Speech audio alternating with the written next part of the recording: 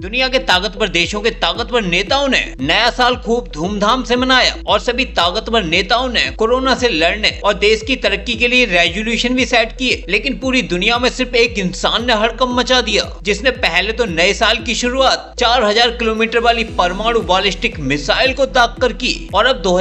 के लिए ऐसा संकल्प ले लिया जिसको जानकर पूरी दुनिया हैरान है दरअसल ये इंसान है नॉर्थ कोरिया का तानाशाह किम उन और नए साल आरोप संकल्प लेते हुए कहा है कि नॉर्थ कोरिया की सुरक्षा के लिए मिलिट्री पावर में बढ़ोतरी करने के साथ साथ पूरे साल एक से बढ़कर एक खतरनाक परमाणु हथियार बनाए जाएंगे और दुनिया के होश तो तब उड़ गए जब नॉर्थ कोरिया ने सीधे तौर पर रसिया को ही ओवरटेक कर दिया और दुनिया की सबसे खतरनाक इंटर कॉन्टिनेंटल वॉलिस्टिक मिसाइल बनाने का संकल्प ले लिया आपको बता दें की इस समय दुनिया की सबसे खतरनाक आईसीबीएम हाइपरसोनिक मिसाइल रसिया के ही पास है इसका नाम सरमट मिसाइल है